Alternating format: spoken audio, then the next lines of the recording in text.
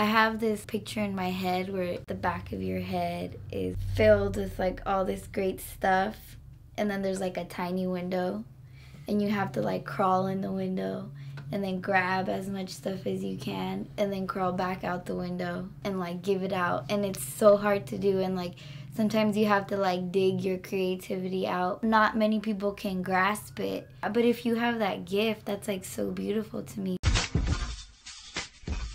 my name is Gabriela Diaz. I'm 21 years old and I am originally from South San Francisco. So I was born in Mexico and I do remember life being different. It wasn't like here where like everybody's so disconnected and distant have a routine where you like wake up, go to work, go to bed, wake up, go to work. It wasn't like that. Just alive, more human interaction.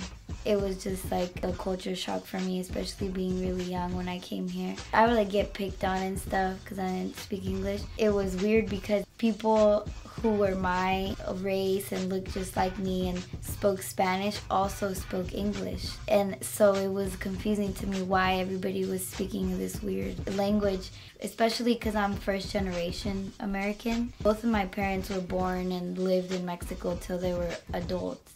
Being here and not understanding the culture and being and having parents who don't either. My parents expecting something from me that I can't deliver because I don't know that culture and I don't know this culture either. So I kind of had to like manage what I could pick up from both. My high school years were hella hard. So South City High is it's a good school, but I personally was like an unhappy student. I just did not want to be there. I would never go to school. When I was a sophomore in high school, I moved to SoCal. I got to experience like this huge school and it was like super school spirited. Everybody loved going to school there. See like the the pace of these people's lives was just like such a shocker to me. Even though I was only there for a few months, and coming back here it just the world seemed like so much bigger to me and like i got to realize that south city wasn't the entire world and i wasn't like in this black hole that i wasn't coming out of like if you change the way you look at things the things you're looking at will change. Recently I start filming and like I get to do it on a larger scale. It's a little bit scary because you know when you draw in your notebook or you write in your notebook nobody's ever gonna see it. But when you're filming the point is for you to show it and that's hella scary to me because as an artist you're never satisfied with your work.